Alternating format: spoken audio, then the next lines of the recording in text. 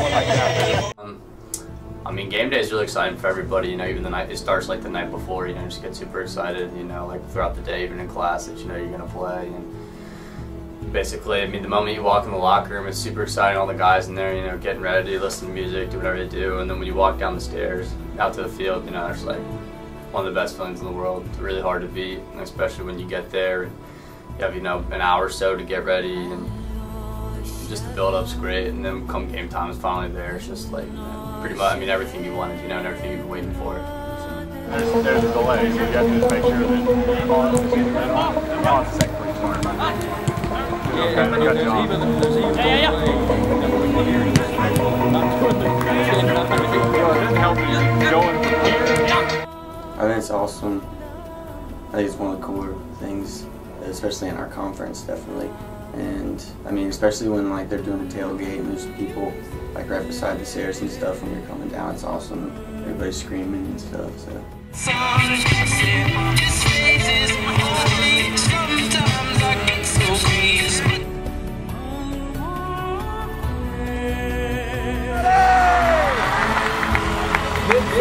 Number 13, Pat Bain. Number 15, Dio Beck.